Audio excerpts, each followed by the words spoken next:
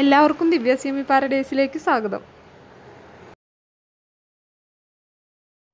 ആരോഗ്യമുള്ള കുഞ്ഞുങ്ങളുടെ ലക്ഷണങ്ങളാണ് ഞാനിന്ന് നിങ്ങളോട് പങ്കുവയ്ക്കുന്നത്.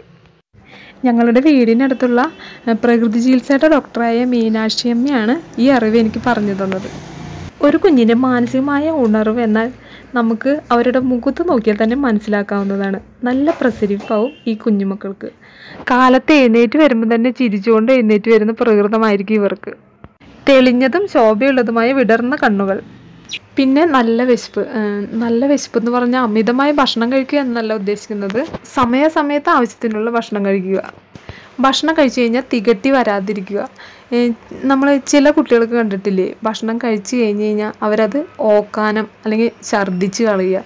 ചില അമ്മമാർ ആ ഭക്ഷണം ഛർദ്ദിച്ച് കഴിച്ച് കഴിഞ്ഞ് കഴിഞ്ഞ് കഴിഞ്ഞാൽ അപ്പം തന്നെ വീണ്ടും ഭക്ഷണം കൊടുക്കും. നമ്മളത് ഒരിക്കലും ചെയ്യാൻ പാടില്ല. ആരോഗ്യമുള്ള കുഞ്ഞുങ്ങളുടെ മലശോധന നല്ല രീതിയിലായിരിക്കും. വളരെ കുറച്ച് മാത്രമേ ഈ കുഞ്ഞുങ്ങൾ കരയാറുള്ളൂ. അതായത് ചില കുഞ്ഞുങ്ങൾ ഭക്ഷണം കഴിക്കാൻ വേണ്ടി അമ്മേനെ അറിയിക്കുന്നത് കരച്ചിലൂടെയാണ്. പിന്നെ കുഞ്ഞുങ്ങൾക്ക് വയറുവേദനയോ ചെവി വേദനയോ അങ്ങനെ എന്തെങ്കിലും മറ്റ് അസ്വസ്ഥതകളൊക്കെ ഉണ്ടാകുമ്പോഴും കരയാറുണ്ട്. ഇങ്ങനെ ഈ രണ്ട് കാര്യങ്ങൾക്ക് മാത്രമാണ് കുഞ്ഞുങ്ങൾ കരയുക. അതിപ്പോൾ നമ്മൾ വലിയവരായാലും ഇങ്ങനെ നമ്മുടെ ശരീരത്തിന് അസുഖം വന്നു കഴിഞ്ഞാൽ വേദനയോ മറ്റോ വന്നു കഴിഞ്ഞാൽ അറിയാതെ കരഞ്ഞു പോകും. പിന്നെ അവരുടെ ശരീരത്തിന്റെ ഭാരവർദ്ധനവ്. അത് ഓരോ സ്റ്റേജിനനുസരിച്ച് കൂടാനും പാടില്ല കുറയാനും പാടില്ല. ആ രീതിയിലുള്ള വർധനമാണ് വേണ്ടത്. സ്പ്രിങ് പോലുള്ള മാംസപേശികളാവും ഈ കുഞ്ഞുമക്കൾക്കുള്ളത്. ഈ കുട്ടികൾ ഉറങ്ങുമ്പോൾ കണ്ണും വായും നല്ലതുപോലെ അടഞ്ഞിരിക്കും. പക്ഷെ നമ്മൾ ചില കുട്ടികളെ കണ്ടിട്ടില്ലേ? കണ്ണും വായും പകുതി അടഞ്ഞിരിക്കുന്നത്. ആരോഗ്യം കുറവുള്ള ക്ഷീണമുള്ള കുഞ്ഞുമക്കളിലാണ് അങ്ങനെ കാണുന്നത്.